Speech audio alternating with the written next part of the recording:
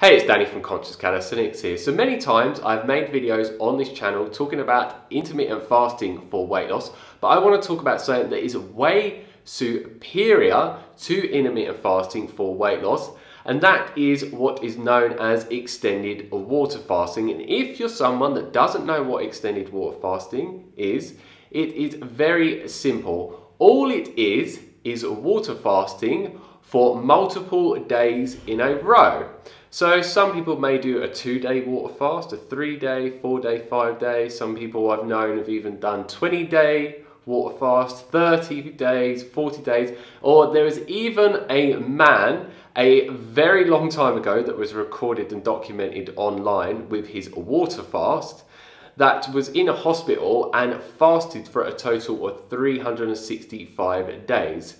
And this man was very, very obese. So this is why he could fast for that long. Because if someone like myself did, that has hardly any body fat whatsoever, I would turn into a complete skeleton, which would not be good for me at all. So now I want to go on to explaining to you why extended water fasting is way superior to intermittent fasting for a weight loss. So for obvious reasons, when you are fasting for multiple days in a row and there is no food intake whatsoever, your body needs some type of fuel source. So what it is going to do is go towards your body fat and start to burn your own body fat as fuel. So due to that effect being induced within the body, the longer that you fast for, the longer the fat burning benefits are going to be going on within your body. But with intermittent fasting, you're only normally fasting for around a 16 to 23 hour window depending on what type of daily intermittent fasting method that you're doing. There's one known as the 16-8 method where you fast for around 16 hours a day and eat for around an 8 hour window and there's one meal a day where you normally eat for around a 1 hour window and fast for around a 23 hour window each and every single day. And for obvious reasons, the longer that your fasting window is with daily intermittent fasting, the greater weight loss benefits that you're going to get. But if you're doing it for multiple days in a row, it's gonna be way, way superior to any form of intermittent fasting. But I wanna give a word of warning to everyone. You need to make sure that you are as knowledgeable as you possibly can be on this subject if you're gonna do an unsupervised water fast. So I would recommend learning as much information as you possibly can from many different resources online and through books and I will actually put a couple of links down below for some water fasting books from some of the best experts on this subject so you can learn all of the information so you know exactly what you are getting yourself into and so you can learn how to do water fasting in the most safe and effective way for you. But if you're someone that feels uncomfortable with doing it unsupervised, then you can do some research up online and find some sort of alternative healing center out there and you could go to one of these places and be supervised with a water fast. They are going to cost you quite a lot of money, but you have the choice between the two. So do what one feels right to you. And I'm someone that has been into water fasting for years and years and years, and the longest I've ever done is a six day water fast, and I felt very, very good from it. But make sure when you are doing extended water fasting, like I have in the past and many other people, that in most cases you want to be resting and relaxing completely. So not working, not exercising, not having loads of stress and lots of things going on in your life. Because for obvious reasons, when you're doing extended water fasting, your body is not gonna have a lot of energy so you want to be as calm and relaxed as you possibly can because your body is also going into a very deep state of healing itself.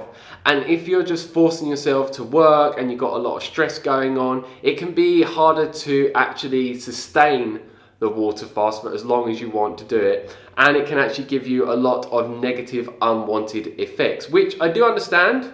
Some people do not have the choice to not work whatsoever and just take this Sabbath. So if you're in that situation, you can do extended water fasting, but what I'd recommend with anyone in any situation that is new to extended water fasting, that you start off with shorter durations of fasting. So try one day and then you can build up to two days, three days, four days.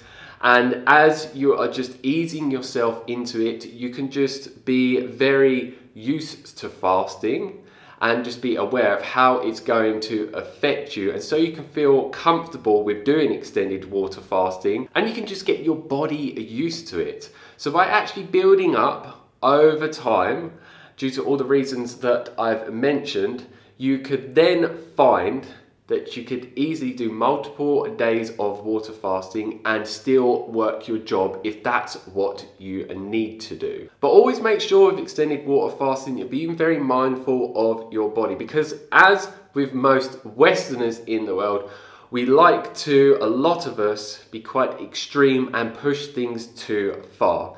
And if you're pushing your body to fast longer than it actually wants to, it could have some negative unwanted effects on you.